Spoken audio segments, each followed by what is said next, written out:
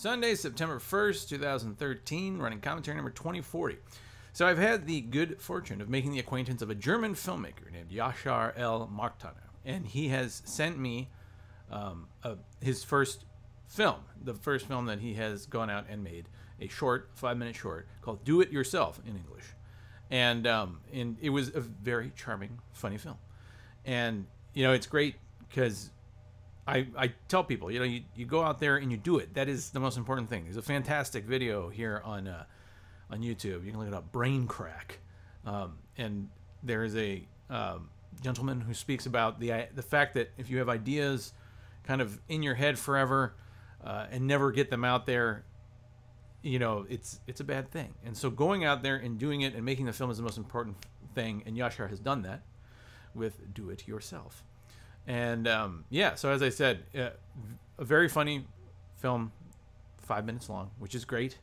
Um, and you know, discussing with him the whole process of making it, it has um, made me feel, reminded me how fortunate I am to live where I live, um, in the United States, but not just that, but but in a community of actors and filmmakers and everything like that, where there is a, a ready pool of talent to draw from. Because filmmaking is a collaborative effort, and it's hard to do if you can't find other talented people to work with.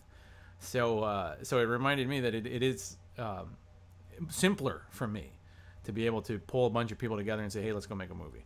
Um, and in fact, uh, you know, every time we do the 48 hour film project here in DC, you get over 100 teams of people, and, and you know, teams ranging from a few members, like five members maybe, to like 20, 30, 40 members.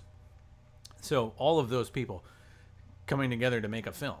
So it's it's very again, we're lucky to have the resources and the people and the and the people with the abilities around to do these kinds of things. But I'm going to share with you a uh, to to close here um, a teaser that Jaschar has put together of his film. So enjoy.